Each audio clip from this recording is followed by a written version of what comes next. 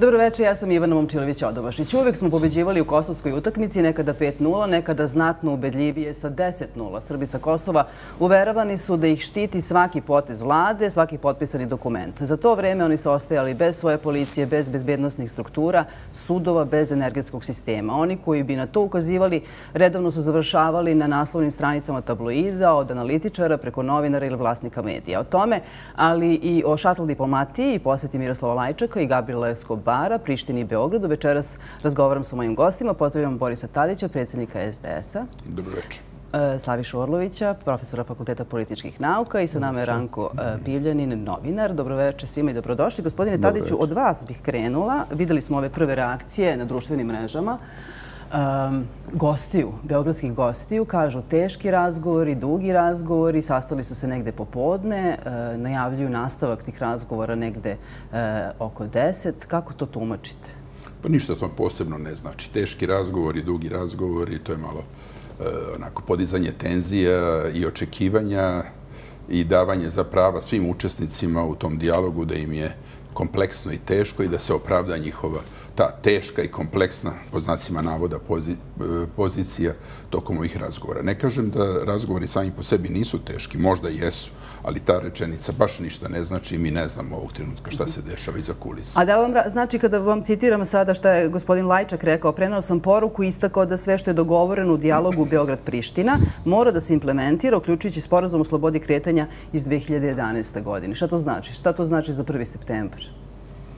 Pa to znači da e, normalizacija u funkcionisanju na tim administrativnim prelazima mora da bude obezbeđena. Čitava ideja tih tehničkih pregovora koji su vođeni u mandatu Eh, kada sam ja bio predsjednik, jeste eh, bila da se napravi jedna normalizacija u odnosima, da ljudi mogu da pređu administrativnu liniju koju Albanci tetiraju kao granicu. Vrlo često vlasti u Srbije nazivaju granicom kršeći zakon, samo kada im odgovora da napadnu svoje političke protivnike, u ovom slučaju mene. Eh, I čitava ideja jeste bila samo to. Tablice, lične karte, dokumenti, isprave i tako dalje. I taj, na neki način napravili su bolni kompromisi sa obe strane. Niko tu nije sve dobio, niti sve izgubio, ali ideja je bila da se normalizuju odnosi i normalizuje, tako kažem, dnevno ponašanje i kretanje ljudi.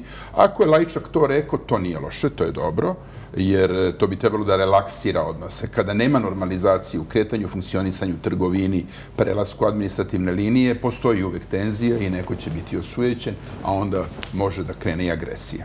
Gospodine Orloviću, kako vama ovo izgleda? To znači da ćemo 1. septembra e, videti e, na delu ono što je Kosovo, odnosno Prištinu, u stvari želela? A sad samo za tih mesec dana prolongiralo? Da, uz nekoliko napomena Eh, da sad ne znam koliko imamo vremena se vraćamo u bližu ili dalju prošlost. Dakle, ovo je logičan rasplet eh, ovog obnavljanja razgovora na najvišem nivou Beograda i Prištine Kurti Vučić koji ili nije mu uspeha ili je neke stvari zadržao u tajnosti, pri čemu je delovalo da je, kao inače mandat eh, Aljbina Albina Kurtija sa nekim malo možda maksimalističkim zahtevima, ali da skratimo priču, da se vratimo na ovo aktualno pitanje, Ne znamo da li je dogovoreno odlaganje na određeni broj meseci, o čemu se spekuliše. Akcenat je na poštenju svih sporozuma, također ne znamo šta znači, da li briselskog u celini ili samo... Ne, baš preciziraju 2011. Da li akcenat, da li, kaže, svih sporozuma, uključujući i sporozum o slobodi kretanja. Mislim da je pojenta pre svega da se u jednoj vrlo delikatnoj i međunarodnoj i regionalnoj političkoj situaciji, koja je potencijalno zapaljiva uvek, spuste tenzije, što čini mi se postiglo, E, mislim da su poruke i NATO, odnosno KFOR-a i svih međunarodnih aktera i uključenost Amerike, pre svega posljednjeg dana nešto intenzivnije, e, govori da e, se stvar, kako je rekao gospodin Tadić, e, na neki način relaksira, normalizuje, da se postavi sloboda kretanja, reče je naravno početku školske godine i početku nastave i Prištinski univerzitet. E, ja sam bio dve nedelje na Kosovu sada i moram da kažem da je velika koncentracija dnevno po nekoliko puta vozila kvora i kosovske policije i da situacija nije ni malo prijatna. Posle duže vremena se osjeća neka loša atmosfera u vazduhu i mislim da je dobro da su da je došlo do maksimalnog ozbiljenja, ako mogu tako da kažem, svih aktera. I da se to da se normalizuje na način da se odagnaju strahovi, bar u neko dobro vreme. Gospodine Pivljanin. Pa ja bih rekao da su ova dvojica u ovoj shuttle misiji zapravo da njihova prisutnost relaksira tu situaciju, odnosno da se stavi do znanja ovoj dvojici jaraca na brvnu da ne mogu baš da insistiraju na maksimalističkim zahtjevima ni jedan ni drugi. Manje je bitno šta su rekli, više da su oni tu i da ih posmatraju i da će jel, dobiti po prstima ili će već ovaj, eh, da se pokaže ko zapravo eh, e, ko si ako vodu nosi za rešenju kosovskog pitanja. I tu pre svega vidim. Međutim, ja bih rekao, mada ću sad udaljiti od konkretne ove situacije, to pitanje Kosova eh, je pitanje, verovatno, gospodin Tadić ima i veće iskustvo i time se bavio na operativnom planu i kao predsjednik države i vođa dve stranke. Gospodin Orlović eh, kao stručnjak i kao profesor. Čini mi se da je to jedno od pitanja koje ne mogu nikad biti rešena. Eh, Čak i pod uslovom da Kosovo Srbija prizna. E, evo, ako mi dozvolite Ajde kratko, pošto ćemo to o čemu sad želeti. Čak i to da se dogodi, to pitanje ne bi bilo rešeno. Eto, posle ću obrazložiti zašto sam mislio. Pitanje Kosova. Čak i da Srbija prizna pitanje Kosova, ono time ne bi bilo rešeno, a kad budemo u daljem razgovoru, obrazložiti šta mislim. Ajmo sada do Gračanice. Tamo je e, Živojn Rakočević, novinar. Želimo malo da čujemo šta e, misli i kako se osjećaju Srbi južno od Ibra. E, uvek govorite, gospodine Rakočeviću, kako ste skrajnuti, kako se o vama ne govori na način i kako se vama ne bavi na način na koji se bavi e, Srbima sa severa Kosova. Kako vi e, e iz tog dela e, Kosova posmatrate sve ovo što gledamo poslednjih dana, posebno ovu posetu Lajčak e, i Escobar? Dobro, da krenemo od ove posjete Lajčaka i Eskobara. E, mislim da je Lajčak na kraju dana bio na ivici iskrenosti i da je rekao da idemo e, da vidimo gde se nalazimo i da li smo uspeli e, pred put u Beograd. To je rekao što znači jasno da postoji neki plan i da moguće da je ovo odlaganje e, do 22 večeras, neka, da se u ovom trenutku vodi neka E, neki razgovori sa Prištinom, odnosno sa Kurtijem, da li on e, verovatno pristaje na neke detalje toga plana i to, svega toga. Što znači da i Escobar i Lajčak imaju neki, neki, nešto konkretno u rukama, ne, ne, neki dogovor i da je sigurno, jedno je sigurno da i to se videlo iz izjava i svega, iz raspoloženja međunarodne zajednice pa i Kejfora ovdje, da nije realno očekivati drugi sukob u Evropi. I makoliko on mali bio ili koliko, on mogao, koliko bi on mogao da se kontroliše. U ovom trenutku Srbi južno od Ibra e, znaju vrlo dobro u, u kakvim su cipelama Srbi na severu. Jer mi smo ovaj proces bolni i nepopravljivo e, štetan za, za sve nas prošli e, u proteklom periodu to je nešto što nikome ne bismo poželjeli i nikome, zato što smo mi u ovom trenutku ljudi od kojih se očekuje i zajednica od, kojih se očekuje, od koje se očekuje da pređe na albansku, e, albansku opciju slobode i na učeka opciju slobode. Tako da e, u našim getima, na, na, na našim ostrovima okruženi ovdje, sa, naravno sa našim najvećim civilizacijskim ostvarenjima poput Dečana, Patrijašije i Gračanice, mi čekamo da vidimo da li je moguće da će ta posljednja prava koja su nam ostala, koja mogu biti i simbolična, e, biti oduzeta. Šta ostaje posle toga? To je ključno pitanje. Šta ostaje posle autom, tablica i ličnih karata? Ostaje ono na čemu je potpuno koncentrisana Priština i Albi Kurti i deo međunarodne zajednice u proteklom periodu, a to je priznanje. Mi smo u jednom periodu na Kosovu imali ideologiju nezavisnosti i ta ideologija nezavisnosti je E, toliko promovisana e, da jednostavno ničeg drugog nije bilo. Zapad je u jednom trenutku predvođen Amerikom većinski rekao da, priznajemo nezavisnost Kosova i to je to se dogodilo. Međutim, shvatilo se da taj proces nije završen i da nije dovoljan. U ovom trenutku sve karte su bačene na jedan termin koji se zove priznanje i Sada su tablice i lične karte i sve ovo što je ostalo samo delić onoga što vodi do novog nivoa, a taj nivo je savršeni pritisak da, da Beograd u neku ruku prizna e, nezavisnost. Volela bi, gospodin Rakočević, od vas da čujem kako Srbi, e, da li na severu Kosova, da li tu gde se vi sada nalazite, e, kako osjećaju kada čuju, e, na primjer, usklik, pobedili smo 5-0 ili na električnim bilbordima širom e, e, Kosova, odnosno tamo gde je većinsko stanovništvo Srbije vide ispis 10-0 ili pobeda ili kako, kako vi to doživljate, doživljavate? Pa znate kako, istorija gubljenja naših prava je 20-godišnja. I jednostavno to je jedan od detalja u kojima smo mi gubili svoja prava. Tako da e, ta probijanja e, straha, napetosti, e, pogrom 17. marta 2004. i tako dalje. Ali ja, ja bih se recimo osvrnuo da na jedan događaj koji je jednom, samo jednom u proteklih 20 godina ukazao da možda postoji nada a to je recimo sporazum Hakerup-Čović koji je vraćao u nekim elementima rezoluciju Jedinjenih nacija 1244 u život.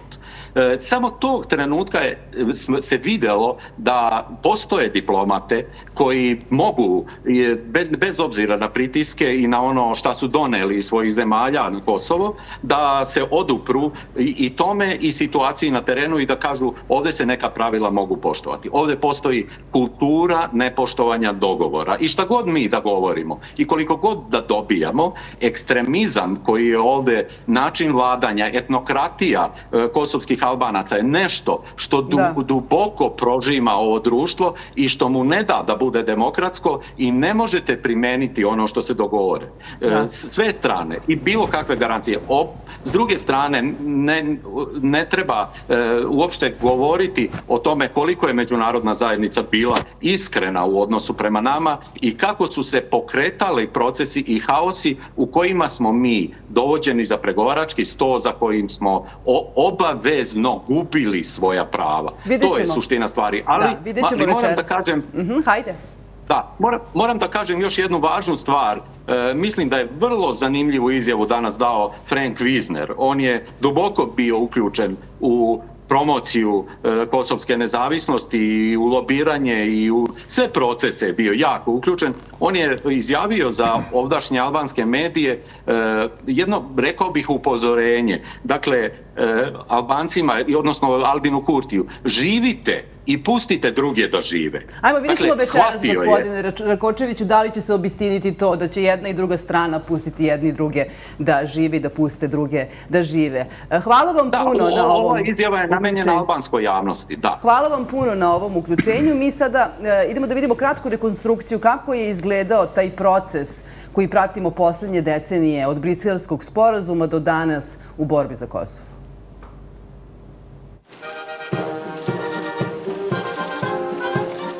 Domaći i svetski mediji saglasni su oceni da je jučerašnja poseta nemačke kancelarke Angele Merkel iznenadila srpsku javnost oštrinom, kao i da je najveću pažnju izazvao njen zahtev za ukidanje paralelnih institucija na severu Kosova.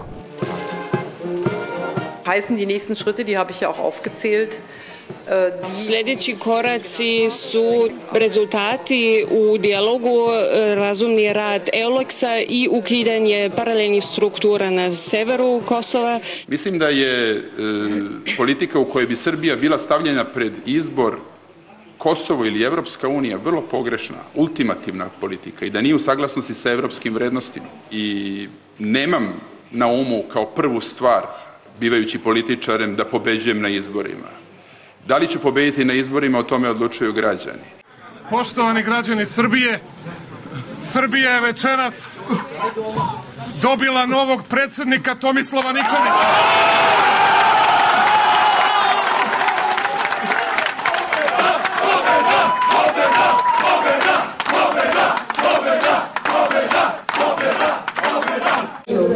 Staviti inicijale, tu bili šuga, i onda opet inicijale ispod toga.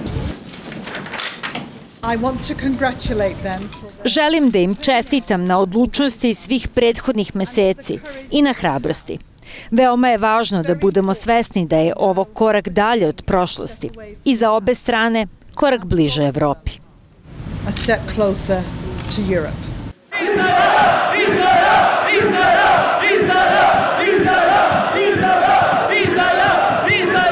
Da sam ja potpisao briselski sporazum, gorela bi Srbija.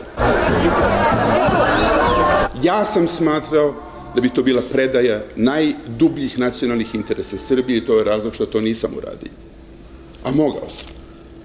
Mogao sam i meni je to nuđeno. Ja neću da ubeđujem narod da je to mnogo dobar sporazum, pošto ni ja nisam ubeđen da je to mnogo dobar, ali je to jedini mogući sporazum i da je to bilo najviše u tom trenutku do koga smo došli.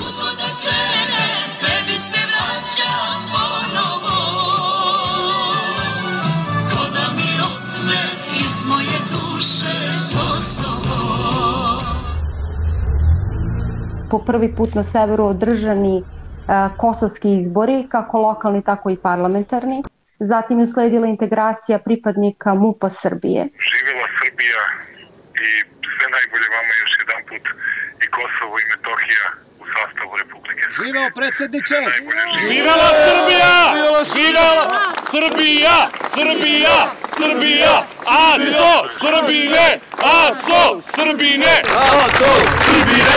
Ceremonija polaganja zakletve 40 sudija i 13 tužioca sa severa koji su ranije radili u srpskim sudovima obavljena je u kabinetu predsjednika Kosova iza zatvorenih vrata. Ovim činom srpske sudije i tužioci integrišu se u kosovski pravosudni sistem. Oni koji su definitivno uticali na život građana jeste sporazum o telekomunikacijama, sporazum o pravosuđu i ona najskorija mapa puta o energetici zahvaljujući kojoj trenutno na severu Kosova imamo restrikcije struje.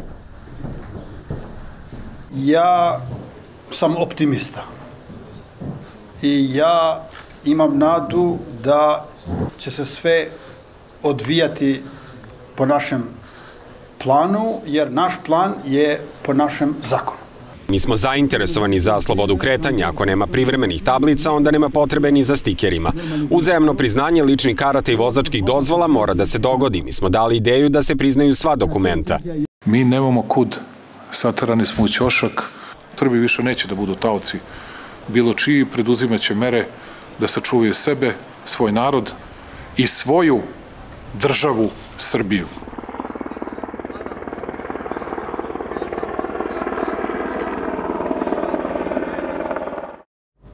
Gospodine Tadiću, veoma ste pomno pratili ovaj prilog, imali ste neke i verbalne, ovaj, dobro, ali i, i ovaj, gestikulacije. Kako ste, šta vas je najviše u ovom prilogu, ovaj, što vam je naj, na, najveća impresija, ova ne, hronologija što, događaja? Vučić, njegova vlast, što više drame i šalju e, snažnije patriotske poruke, e, to više gube na Kosovo. To je jako zanimljivo. I, a sve vreme se busaju u grudi da će pobediti. Ali sve vreme, to je nevjerovatno, preizvjesno vremena Vučić je sam rekao, mi smo dali sve, nismo dobili ništa e, za takozvanu zajednicu srpskih opština. Oni nisu ispunili, a mi smo sve dali. To je, znate šta je to? To je u politici zastrašujuće. Kad bi u nekoj kući otac dao sve, a ne dobio ništa, tretirali bi ga neodgovornim i on bi trebalo da se povuče sa ključne e, pozicije u toj kući. Treba bi majka da preuzme ulogu. Ovde bi neko drugi morao da preuzme ulogu za upravljanje, ako je Kosovo najvažnije srpsko državno pitanje ovim aspektom e, pitanja. Međutim, evo, da počeli ste sa posjetom Angele Merkel i mnogo je pogrešnih interpretacija te posjete. Vidim su novinari davali svoje interpretacije, a svi su bili zabezeknuti njenom reakcijom, zato što je bila vrlo oštra i striktna. Angela Merkel nije imala problem sa mnom u tom trenutku. Ona imala problem sa svojim saradnicima koji su je ubeđivali da ću ja prihvatiti rasformiranje srpskih institucija na Dobro, hajmo da ne ulazimo u to. Ono što mene zanima je, ukoliko je ona došla tu sa nekom ponudom za vas, vi posle nama kažete ne za vas, za Srbiju. Nikako poredu ni za Srbiju. Došla sa ponudom da mi izgubimo sve. Dobro, vi ste rekli ne želim. Vi ste rekli ne želim. Ne, ne sam joj rekao ne pada mi na pamet. Ja sam joj rekao ne pada mi na pamet da donosim odluku koju bi proizvedila novi egzodu sa Šta je onda bila kontra ponuda? Uradite ovo, pa će ovo vi niste uradili to, nego me zanima šta je, da li postojala neka kontraponuda? Reći ću vam sve Jer što je onda bilo. možemo da raspričamo scenarije šta, na primjer, zapadne diplomate govore Vučiću. Evo ajde da pokušam da budem kratak, e, zato što emisija nije večna, e, i, a bitno je da građani znaju. Tu ima nekoliko politika. Imate rusku politiku, imate kinesku, imate evropsku, pa imate specifično nemačku, pa američku politiku na Kosovo. One nisu istovetne, nekada se one prepliću i slažu. Angela Merkel je u tom trenutku bila bliska američkom stavu, ali je preuzela ulogu ubeđivanja Srbije da određene stvari ispuni u ovom slučaju. Očekivala je da ću ja kao predsjednik Srbije da stanem iza njenog stava da se rasformiraju srpske institucije na severu, to jest da izgubimo u miru ono što nismo izgubili u ratu. Ja sam stvarno bio zaprepašten kako je tako nešto pada na pamet. Ali njoj su saradnici rekli da ću ja to prihvatiti. Saradnici, pogledajte ko kvaliteta. Nisam samo ja imao loše saradnike, nego i Angela Merkel. I ne samo Angela Merkel, nego i američki predsjednici su imali, i ruski predsjednik imali su očajne saradnike kroz, kroz svoj, svoj mandatu, pa me to nekako teši ovim mojim odgovornostima za moje Da. saradnike. Ali, e, i sada, sad ću vrlo, vrlo brzo završiti. Ja sam čovjek koji ima svoje principe i svoje uverenja. Dakle, dakle, nije to pitanje straha ostati na vlasti. Evo, ovdje ste vidjeli da sam ja rekao što mene zanima da ostane na vlasti, iako treba da potpišem nešto što ne verujem. To je pitanje mojih uverenja. Ja se Kosovom bavim od svojih studentskih dana. Ja sam prvi intervju u životu dao kada su Srbi sa Kosova došli u Pionirski park da protestuju, ne znam da se sećate onih godina. Ja sam taj isto, braneći Srbe sa Kosova, dajući intervju stranim medijima. Ja sam jedan od tri srpska studenta koji je potpisao peticiju za oslobađanje albanskih studenta koji su protestovali za albansku nezavisnost 80. godina.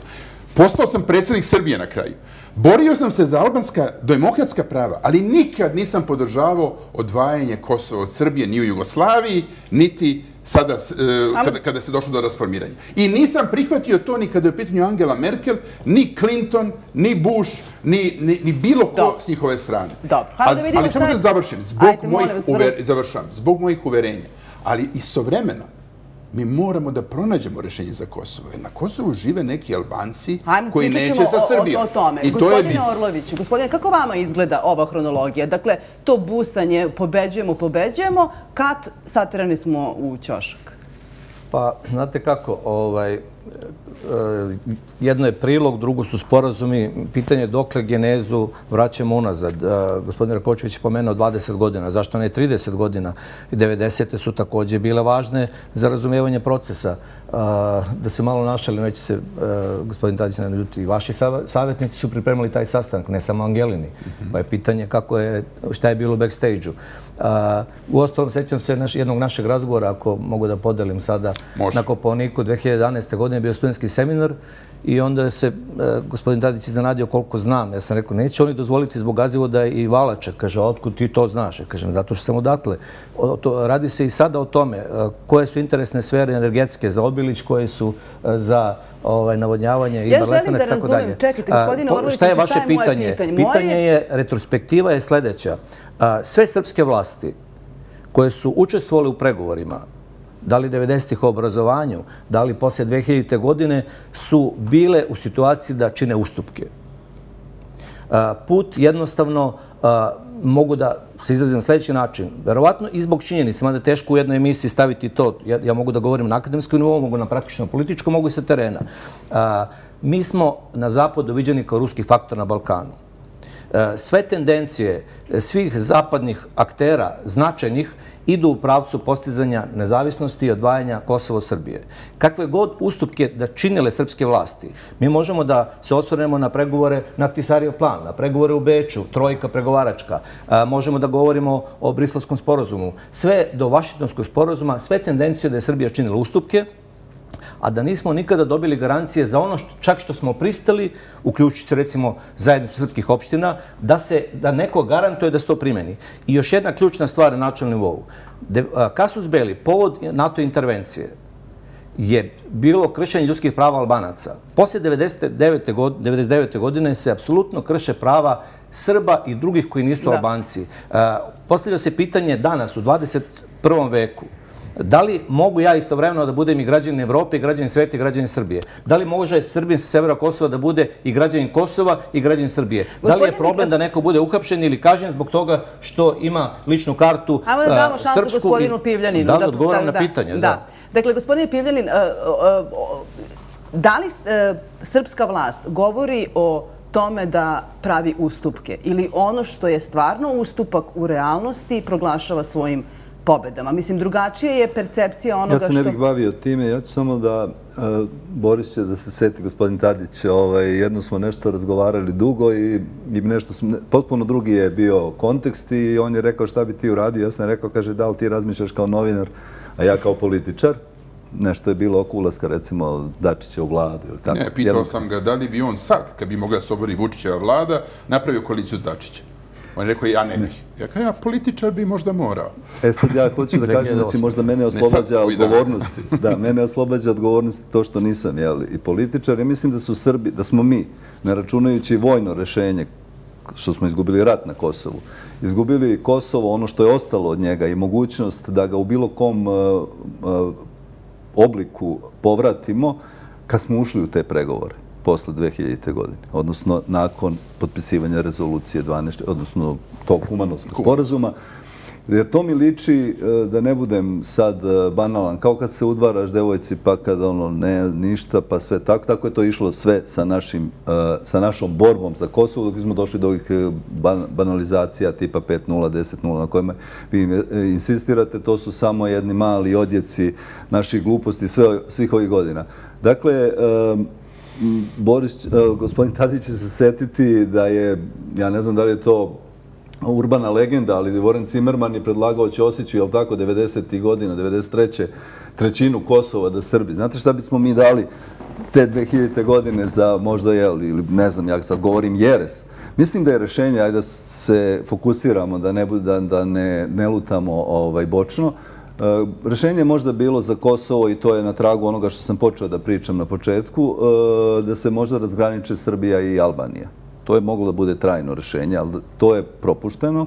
Za to nije bilo e, volje. Kad je povučena naša vojska, naša državna sila i sve sa Kosova, sva prednost svi igrači, ona suprotna strana je igrala, ako ćemo futbolskim terminom, sa 22 igrača protiv 11 ili možda više. Mi smo igrali sa nanogicom, odnosno sa nekim nagvama na nogama. Dakle, kako je vreme odmicalo, problem je postajao sve veći, mi smo bili sve nemoćni da ga, da ga rešavamo i da iz njega nešto izvučemo. Bilo je tu nekad neki delić šansi. I gde smo sada? Jer smo sad A evo gde smo, nemamo mi sad, sad smo tu gde smo. Ja, sam se, ja ću se opet vratiti na ono, znači Kosovo čak ni nezavisno i priznato od strane Srbije. Ne može, zašto ne može biti, ako mi dozvolite samo jednu rečenicu? Zato što u srpskom biću Neću e, zvučati guslarski, iako će to tako ovaj, e, na prvi pogled izgledati, e, bez obzira da li ono bilo preparirano, da li bilo potkupljeno i toga ima, da li mu bilo objašnjeno da mu Kosovo više ne treba, ostaće jedan, jedan, jedna, jedan bol i neka žal za svim tim i to će to, ta neka surevnjivost. S druge strane, Albanci koji bi dobili to Kosovo također bi znali da ga nisu da im ono ne, nije pripalo po nekoj, da kažemo, višoj pravdi ili ne znam, neko, nego da im je ono Pitanje doneto. Pitanje kako bi se to rasplalo. Da, da im ga je neko dao i da to zavisi od geopolitičkog rasporeda i da će jednog dana možda opet doći to uh, pitanje da se rešava na najgori mogući način. Hvala. Idemo sad na, kratki, uh, na kratku pauzu pa se vraćamo, vraćamo se studiju.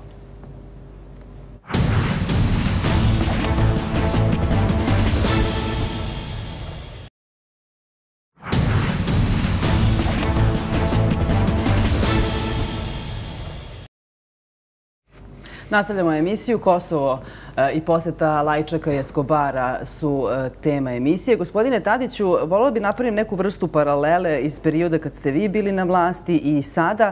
Eh, Tada su, eh, je, sada vidimo srpsku listu uz eh, Aleksandra Vučića, teško da postoje neka jača struja dole među Srbima sa severa Kosova koja može da im u tom smislu jačine parira. Eh, mnogi ljudi za koje postoje spekulacije, neke spekulacije su u krivične prijave pretočene protiv nekih ljudi koji su sa severa Kosova, su vrlo bliski sa režimom Aleksandra Vučića. U vaše vreme su Srbi sa severa Kosova bili također uz Beograd, ali ste imali par situacija u koje ste, ne svi, upravo to i kažem, baš tu paralelu i vučem.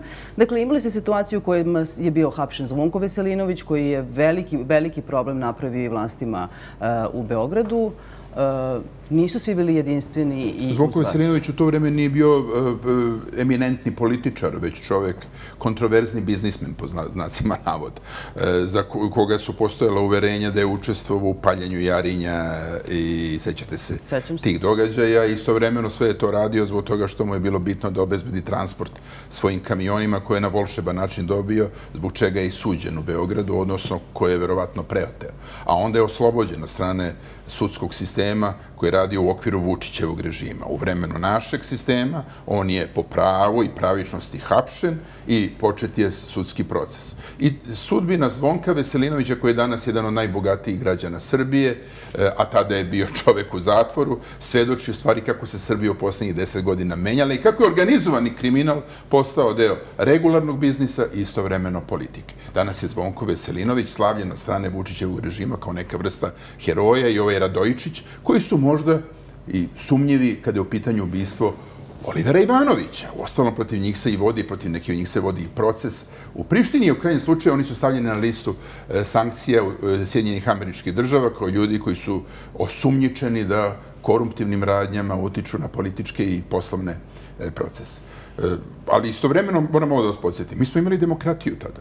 I mi smo imali predsjednike opština koji su bili protiv politike koju sam ja zagovarao, nazivajući je izdajničkom politikom. Ali to je bila demokratija i ja sam imao pravo da im E, da se borim za svoje stavove, ali su i ti ljudi imali pravo da se bore za svoje stavove. Vrlo zanimljivo, neki predstavnici DSS-a koji su mi posle svih ovih godina došli i, i prišli, sreli smo se slučajno, su rekli da su napravili veliku grešku tadašnji predsjednici opština, jer su mislili, tad su bili zajedno sa svojim radikalskim partnerima, kasnije naprednjacima u različitim vrstama koalicije. Ali smo imali demokratiju. Vi danas imate u stvari silom suspendovanu svaku polimorfnost mišljenja na Kosovo i Metohiji, ali smo mi umeđu vremenu, pogledajte što je jako zanimljivo, mi smo došli do jedne situacije u, koj, u, vremenu kad sam ja bio predsjednik, to nije bilo moguće, ovdje je pomenut e, Hakerov Čović sporazum, dakle to je vreme Izorana Đinđića i Koštunica i pre mog mandata, mi smo imali ipak neke vrste gradacija. E, I tada je bilo nekih sporazuma koji su poštovani, vođeni su razgovori sa predstavnicama međunarodne zajednice, tačno je ovo što Slaviša Olović kaže da e, je to bila tendencija da se Srbija opaža kao zemlja malih Rusa i da ćemo uvijek biti na neki način diskreditovani u tom procesu i da se zbog toga insistirano na kosovskoj nezavisnosti. Ali mi smo danas došli u jednu potpuno novu situaciju da sada privremene institucije kosovske ili takozvane e, institucije kosovskih albanaca e, pretenduju na recipročnost u odnosu sa Srbijom. To znači da smo jednaki sa Jesmo li, gospodine Orloviću, jednaki? Da li sve vreme čujemo predstavnike opozicije koji kritikuju režim Aleksandra Vučića i kaže nekoliko desetina puta je potvrdio kosovsku nezavisnost i državnost? E, ovaj, ovako, prvo, e, u Srbiji ni na akademskom nivou, ni na političkom nivou nikada nije uspostavljen konsenzus po pitanju Kosova i Metohije šta mi kao država hoćemo. Srbi sa Kosova i Metohije su bili uvek upućeni na vlast, na Beograd, dominantno za SPS. U to vreme slažem se polaristički DSS, DS, jer je bilo i vreme kohabitacije i vreme... Ali DSS je više DSS nekako nacionalniji, možda više, ali je i tada možda DS bio najjači. Sada je gotovo 100% za SNS, mada rezultati kada je glasanje na rubnim opštinama pokazuju nešto drugačije. Što se tiče, postoji jedan malo načelni problem civilizacijski u 21. veku. Recimo, ovi pregovori ne postavljaju pitanje imovine, recimo privatne. E, I sad ja ako ne mogu da dođem na svoje imanje, to je private property. Privatna svojina je nešto što je temelj svakog ustava na zapadu. Od američkog, koji je jedan najstariji, najugledniji, demokratski, do svih drugih. E, druga generalna poruka je e, Kosovo nije ni samo albansko, ni samo srpsko. Kurti je, mislim, ovih dana dobio nekoliko poruka u predvečori ovog briselskog sastanka. Imali smo izjav Montgomerya koji je rekao da nije, ne veruje u budućnost Kosova sa Kurtijem, William Walker, visoki zvaničnik koji je bio nakon njegove partije, je rekao da nikada odnosi Amerike i Prište nisu bili na nižem nivou. On ima jednu neuspelu posjetu u Vašingtonu pre nekih mesi i po dana. Čuli smo ambasadora Hila koji kaže druga strana nije bila baš Nije se sreo na visokom nivou. Imamo poruku ambasadora Hila ovih dana koji je apostrofirao zajednicu srpskih opština. I meni deluje da kada gledate situaciju na terenu, dobra strana je što možete sa E, neračunujući e, registarske tablice KM da idete u južni deo bez problema.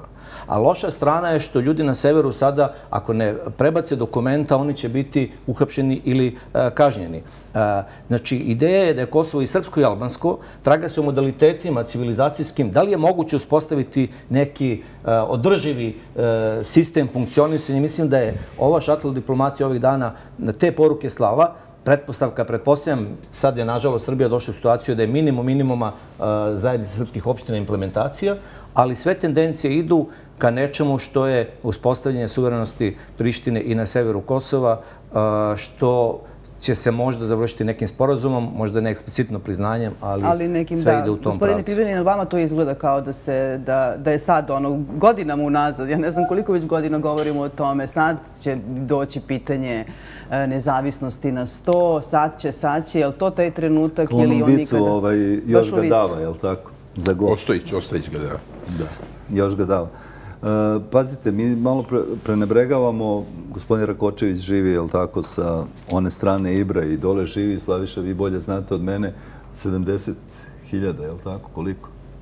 Znači, duplo više nego na severu Kosova. Više nego na severu. Duplo više. I oni su inkorporirani, on čovjek je malo pre to rekao, jel tako? Oni su potpuno inkorporirani u kosovski sistem. Kako se to kaže, integrisani? Integrisani, ajde kažemo kako god, oba su izraza strana. Dakle, mi malo zaboravljamo e, da su ti ljudi taoci i Igrarija i Beograda i Severno Kosovo, Sever Kosova, zovite ga kako god hoćete, barem kad sam ja bio tamo pre neku godinu, bio sam pred e, ubistvo Olivera Ivanovića, to je bila jedna, jedna, jedna, jedna meksička favela, jedan kriminal opšti. Znate, ja sam tu gledao Mi sad pričamo o tablicama. Tada su svako drugo, vi me ispravite, e, vozilo išlo bez tablice. Neregistrovano, da. Neregistrovano. Tada si imao pumpe koje malte ne iz, iz, iz, iz e, ovog e, nekog betona izlaze oni, oni ovaj, pištolji, razumete? To je bilo neregulisano. Džipovi ovih momaka ovaj, koji, koji ovaj režim čas ne poznaje, čas, ih, čas sa njima sedi u skupštini, su bili parkirani ovaj, po sred ulica u toj Kosovskoj Mitrovici, naravno ovaj, cilju zastrašivanja, pokazivanja moći. Ja ne znam koliko se moglo promeniti za tri godine, ne verujem. Dakle, e, problem, ono kad, e, kad je malo, presla, e, ne znam ko je od gospode rekao, da mi ne znamo, mislim da je gospodin Orlović, šta hoćemo. Vlasti znaju šta hoće. Njima Kosovo služi upravo za takve stvari. Dakle, za bildovanje pa, parapatriotizma, ja ne mogu reći da je to patriotizam, za ove performanse koje smo gledali sa Đurićem, sa mm, Ristićem, ili kako se pre, ovaj, zove šef srpske liste, e, da se na tome poentira, da se, e, da se skreće pažnja čak. Dakle, nikad suštinski nismo e, ni hteli da znamo šta je interes i naš kao države i ono malo ljudi što je dole preostalo, tih 120.000. Volio bih samo jednom kratko da prođemo pre još jednog priloga koje bih volio da pogledamo zajedno. E, ova priča, e, bitno je održati mir, bitno je održati stabilnost, nećemo da ratujemo. Kada se takve stvari govore, onda naravno da pomislimo da ono, mi nešto ovde ne znamo. Da li nam visi nad glavom neki rat? Koliko je ova cijela situacija sada opasna, opasnija, Uvek je opasno. Uvek može da eksplodira. Kosovo, dakle, uvek može da eksplodira i to je jasno kao beli dan. A režim u Srbiji upotreljava te rečenice ne u smislu pomirenja, već upravo podizanja tenzija, onda se pojavljuju predstavnici režima kao spasijaci. Isto, gospodin Orlović, ali vama to tako deluje? E, prvo, na početku sam rekao, gledajući međunarodni kontekst, možda postoji nekih, ne bi sad ulazim da zaličem na teoriju zavere, nekih interesa s polja da se pomeri sedište, fokus pažnje sa Ukrajine, da se ovdje otvore neki incidenti.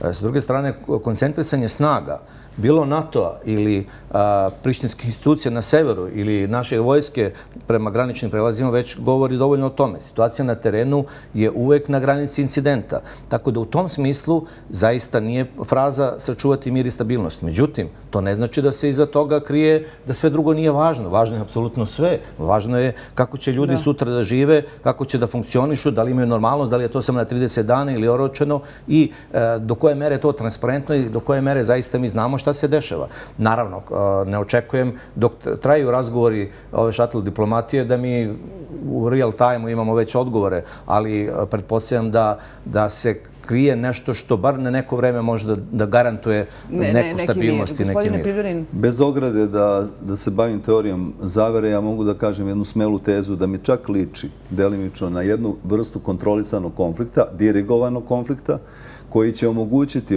ovim vlastima, dakle, da podigne se nivo e, nivo tenzija dotle, da onda ono što će oni odavde uraditi će biti kao jedino rešenje da smo spasili od rata, da smo spasili od pogroma, progona, što je gospodin Vučić neko... Da se i to, da je to možda ukalkulisano, ne bi me čudilo. To je dakle- pridavanje previše značaja kao da samo mi odlučujemo o tome. Mislim da mi nismo u situaciji da možemo da kontrolišemo. Ja mislim da je to put da se ovome olakša to što mora da se uradi, jer kad se ti, kad se kad se zaoštri situacija, onda je problem priznanja manje, lakše se vari ta žaba nego u situaciji kad su stvari relaksirane i nema tenzije. Da, hajmo sada da pogledamo kako izgleda kada ne govorite ono E, što očekuje vlast u Srbiji. Da li možda posle ove moje emisije neka izjav od mojih gostiju e, osvane na tabloidu uz neku rečenicu N1 radi ovo ili ono, da vidimo kako se e, tabloidi u Srbiji obračunavaju sa vlasnicima medija. Sve je u političkom životu Srbije prolazno i promenljivo, samo je Dragan Šolak konstanta manjinski vlasnik United grupe u okviru koje posluju N1 Nova S Newsmax i danas i većinski vlasnik naslovnica prorežimskih tabloida. Potrebno je pronaći strašilo koje je krivo za sve. Pošto valjda tako on živi daleko i živi lepo, onda možda mu radi šta god hoćeš i rade mu doslovno sve i svašta. Otkad je iz sintagme Đilas Šolak ovaj prvi nestao u procesu smirivanja tenzija između vlasti i opozicije, ovaj drugi još jedino nije optužen za vremenske nepogode. Ja mislim da on jedino nije dovođen u vezu sa koronom i sa umiranjem u Srbiji, dakle od korone. Ja mislim da je to jedini, jedina stvar gde, gde nisu rekli e, to je Šolak i njegovi mediji su to izazvali. Samo od aprila tabloidi su mu posvetili skoro 40 tekstova, pa tamo gde živi Šolak bi svojim komšijama morao da objasni kakve su njegove veze sa koljačkim klanom Veljka Belivuka, zašto ugrožava snabdevanje Srbije energentima, šta muti sa Hrvatima, kako pljuje žrtve oluje, zašto se sveti Srpskoj pravoslavnoj crkvi, a možda uskoro otkrijemo i da mu je Aljbin Kurti zapravo brat od strica. Za sada sa Kurtijem tvrde u srpskom telegrafu Šolak kuje zaveru protiv Richarda Grenela, jednog od redkih Amerikanaca koji, kako kaže predsjednik Vučić, smatra da Srbija nije kriva. Hrabar čovek koji sme da izađe i da kaže šta stvarno misli i šta se stvarno događa. A što vam on smeta? Možda list danas, kako predsjednik to često ističe, čita 3000 ljudi, ali je on među njima. Možda je njedan gleda tek šačica njih, ali je predsjednik i među njima. Jer evo kako je bilo. Novinar Danasa gostuje na N1, izjasni se o Grenelu i grudva se za kotrlja. Što se Grenela tiče, to je važno pitanje. Važno pitanje, kao po pravilu, postavljaju novinari Pinka. Predsjednik ih dočekuje spremno ko zapeta puška, rafalno će dalje nastaviti tabloidi i na kraju izrešetati šolaka. Jedini cilj koji e, se ovakvim e, izveštavanjima tabloida mogu nazvati e, napadima na jednog od suvlasnika United grupe, jeste da se utiče na rad medija. Da tog čoveka valjda dovedu u takvo stanje da on digne ruke od zemlje u kojoj se ovaj, rodio i da kaže baš me briga gasim sve svoje operacije, ne mogu više time da, da, da, da se bavim. Oni ne mogu uticati na rad naših medija, ali mogu ugroziti bezbednost suvlasniku te grupe i na taj način zapravo pokušati da promene naš profesionalni pristup. Ali se to, pretpostavljam, neće dogoditi. To se neće dogoditi. I vi možete da izbegnete da vas provlače ovaj, svakog dana eh, po štampi ili po tim TV stanicama ili po društvenim mrežama, samo ako poljubite ruku i više niko neće da vas dira. U suprotnom, bit ćete optuženi čak i da ste Milomiru Mariću namestili da dobije batine u Budvi. Jer bez sve šale, Šolaku su i to nalepili. Maja Nikolić, N1, Beograd. Uh, gospodine Pivljanin, kako vam izgleda kada, kada vidite uh, ovakav jedan prilog, mislim, koji ilustruje, nije gospodin Šolak jedini koji je na, na udaru tabloida, evo ovo je jedan u posljednje vreme, evo 40 e, stranica naslovnih tablida sa različitim optužbama. Što baš on? Zašto ne BC Partners? Oni su većinski vlasnik. Zato što ova vlast uvek mora da ima poželjnog neprijatelja. Znači, neprijatelja koji ne može da joj naškodi, a koji je dobar za njeno pokazivanje snage i za sklanjanje e, e, stvari od e, i pažnje javnosti sa onoga što je bitno. U nedostatku opozicije, gdje je izvršena neka vrsta detanta između vlasti i opozicije, ostalo je samo ostoje šolak. Kao što je kolega malo pre rekao, otpao je Đilas i ostao je šolak kao jedna poželjna meta i potpuno, kako bih rekao, praktična za, za tu vrstu posla kojim se oni bave. Oni moraju da imaju neprijatelja, fokusirali su se na njega, to je jedna stvar. A koliko to je opasno može da bude? U pitanju su mediji, u pitanju su novinari, profesionalizam, možda i bezbednost novinara koji rade u ovim kućama koje ne smo... Ne gledaju oni to tako, ovaj, uh, oni gledaju da, da... Oni su novinare učitali kao opoziciju i to onu vrstu novinara, oni zovu nas tajkunskim novinarima. Znate, vi i ja smo tajkunski novinari. Ja sam negde, i to ću ponoviti večeras, iskoristit ću priliku da kažem eto da ovaj ne postoje tajkunski i ne tajkunski novinari, postoje objektivni i neobjektivni. Čak ponovo ću, e, i to je jednom izvučeno iz, iz konteksta i vjerojatno će i sad to biti urađeno, kaže ne postoje ni nezavisni, ali postoje objektivni novinari. Uvek je neka zavisnost mora da postoji, ne mislim samo ona da ti neko, taj neko što te plaća, već i sam ako imaš svoj medij od nečega si zavisna, ako ništa od svoje, svog trenutnog raspoloženja ili novca kojim raspolažeš ili već čega, ubeđenja. Dakle, i postoje novinari sa zadatkom i, i novinari na zadatku. Postoje novinari koji rade svoj posao i novinari koji rade tuđi posao. Postoje novinari koji e, tragaju za istinom i saopštavaju kakva god bila i postoje novinari koji tu istinu ili zaobilaze, ili šminkaju, ili prikrivaju. I to je jedina razlika. I mi smo kao takvi, ja računam da sam barem objektivan, ako smijem da budem pretencijozan i da kažem, ako ništa drugo, trudim se da budem objektivan, idealna meta i bilo ko od, njih, od nas. Dakle, oni su, e, opoziciju su rastočili, razvalili, da se narodski izrazim, i ostali su im, i sad smo im, mi, sad smo, sad su im novinari opozicije. I oni nas tako učitavaju, tako nas doživljavaju i, i tako se sa, sa nama bore. Gospodine Orlović. Uh, imam dve, tri ideje dok sam gledao prilog. Ovaj, prvo, uh, generalno problem je, ja sam tako razumeo prilog, nije prilog, uh, nije paradigma šolak. Uh, ovdje je problem uh, kritičke reči, uh, prava na drugačije mišljenje i tolerancija razlika, generalno kao društveni problem. Dok sam gledao prilog, pomislio sam pa mogli ste napraviti o Borisu Tadiću, Slaviše Orloviću prilog kako je bio napadan i tako dalje jer smo više medijski izloženi, vjerojatno, nego Šolak. Ja sam vidio samo jedan njegov intervju koji je malo zadirao u polje politike, on se uopšte medijski ne eksponira. Ali poruka je druga. Ali očigledno dovoljno zanimljiv da bude toliko često Imamo dve Srbije. E, postoje razne podele, zapadna, istočna, proruska i tako dalje. Ovdje je Srbija koja gleda N1 i Novu i Srbija koja gleda tabloide i e, medije sa nacionalnom pokrivenošću, jer su ovo ipak dva kablovska operatera. Vidjet ćemo da li će biti konkursa za tu dodatnu frekvenciju. I nekoliko nedeljnika, jedna dnevna novina, dve dnevne novine, da kažem, nova i danas. Dakle, i te dve Srbije u stvari pokazuju rezultati izbora. Onoliko koliko je vidljivost ove medijske slike i ovog balona, to je jedan diskurs.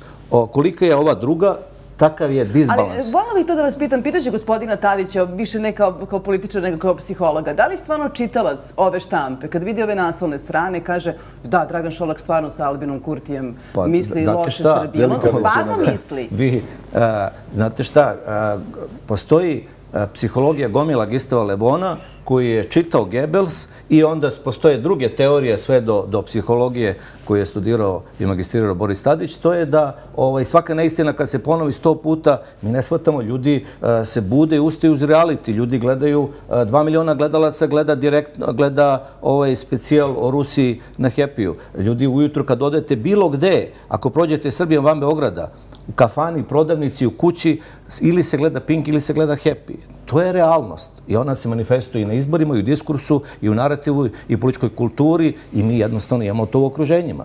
I nažalost, posle dolaze takvi studenti i deca u školi i tako dalje. Gospodine Tadiću. Meni, stvari su za mene jednostavne. Ovakva vrsta režima koristi i nauku i određena znanja iz komunikacije i bira svoje političke protivnike i njih napada. One koji su manje opasni, njih napada. Tako i iz opozicije bira one političke protivnike koji su bezopasni, pa ih napada, napada, napada, napada, pa onda pravi sporazum sa njim. E, sa što se tiče Šolak, on je biznismen, on se ne bavi politikom. Jednom sam samo imao prilike na nekom međunarodnom skupu da razgovaram o politici i mislim da on čak nema ni neka elementarna znanja o politici, više se bavi tim finansijskim aspektom svog funkcionisanja. U tim okolnostima režim gleda te ljude i kad ih napada uvek kao potencijalne partnere u nekom dogovoru, na kraju finansijskom, jer Vučićev sistem počiva na medijsko-finansijskoj e, dominaciji, na tome počiva i na instrumentu fizičke sile. I taj sistem laže. On laže sve. On laže i ko je kriv, ko nije kriv, ko je neprijatelj, ko nije, i laže o Kosovu. Deset godina lažu o Kosovu. Pa smo došli od situacije, nećemo se izvinjavati, do situacije klečat ćemo na kolenim. Došli smo do situacije, poništit ćemo sve što je Tadić potpisao i sa svojim e, saradnicima, do situacije da ćemo, e, da, da će ovoga trenutka oni će se izboriti za mir, pa naprave onda i briselski sporazum koji je predavanje praktično elementarnih državnih interesa e, na Kosovu. Došli smo do situacije da smo mi postavili granice među Srba i Srba, a oni su ih potpisali u krajnjem slučaju, a to nisu ni granice, nego su administrativne linije, pa krše zakon zato što to odgovara njima da optuže nas, ne razumejući da dovode u pitanje integritet zemlje tog trenutka. Sve vreme lažu. Znači, Vučićev sistem laže, laže, laže, laže, lažima, silom, medijima i novcem upravlja. Deset, I onda se postavi, postavi pitanje, pa kako imaju toliko glasova? To je lako. To može svako ko dođe na vlast da radi, ukoliko to ima, ima takvu moralnu strukturu. Ako ne, onda se borite za nekakvu demokratiju, za prava drugih. E, koji učestvuju također u političkom životu i ne, ne vršite dominaciju u financijskom smislu sa stanovišta ideja, programa, života, dajte svim ljudima pravo da. i mogućnosti da žive i da rade. Hvala vam puno. I još jednom, samo izvinite, molim vas, izvinite, ovo moram da kažem, ja sam političar za razliku od Slaviše i, i, i Ranka. Ja ne bi priznao kosovsku nezavisnost, to moram da kažem, ali bi se borio za održivo rešenje, uvažavajući albansku stranu. I paralelno sa time, mi moramo da shvatimo da na Kosovu žive Albanci koji ne žele da prihvate državu Srbiju kao svoju zemlju. I mora da se pronađe jedno neverovatno kompleksno kompromisno rešenje. Neko je pominjao, mislim, Rakočić Viznera, koji je učestvao u razgovorima koje smo vodili tada s albanskom stranom, Koštunica i ja. Vizner, od velikog zagovornika kosovske nezavisnosti, više to nije. Mnogi američki e, državnici ili ljudi koji su obavljali izuzetno kompleksne poslove danas razmišljaju da su ipak Amerikanci unilateralnom deklaracijom o nezavisnosti, guranjem Kosova u nezavisnost, napravili veliku grešku s kojim se sad suočavaju u Ukrajini. Mislim da će se ponovo okrenuti krug u kome će se morati razmišljati o kompromisnom rješenju. Vidjet ćemo, za sada razmišljamo dan po dan i čekamo taj prvo 22 časa i kraj sastanka sa predsjednikom Vučićem, a onda i 1. septembar. Hvala vam puno što ste gledali N1. Prijatna noć.